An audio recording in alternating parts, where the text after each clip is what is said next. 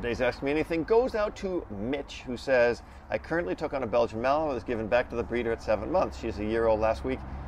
The first time I met her, she bit me. What's the best way to introduce her to my kids, 19 and 15, when I bring her home, and to my girlfriend, the little dog? I mean, Mitch, that's a tough one. I mean, it's the first time she bit you. That's I, I'm assuming it was a play bite. I don't know. I, I, probably wouldn't take a dog that bit me unless I had some kind of a, a death wish.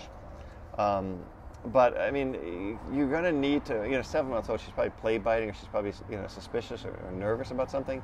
So, um, what I would probably do with her at, at, seven months old is I would start hand feeding her. I would have your girlfriend hand feeding her. Be real careful. I crate this dog a lot. It's a Belgian Malinois. I mean, I believe in creating Malinois for at least a year or two so they understand structure, so they understand that. Some people can say, oh, you're really mean. You crate your dogs too much.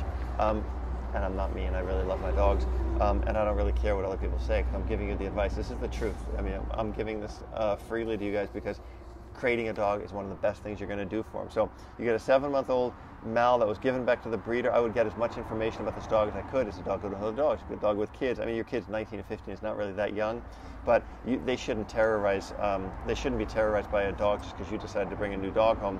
Um, and the little dog I'd really watch because Mal's have an immense amount of prey drive, and uh, it took a little bit of work to get Goofy used to um, Bosman, but they're best friends now, so they can be outside together and play together and walk around together. Um, but I wouldn't trust any Malinois. I had Goofy since he was nine weeks old, so um, I know Goofy's great with little dogs. He loves little dogs. But take your time, introduce him slowly, use a crate, crate, crate, crate, crate, crate, crate, crate.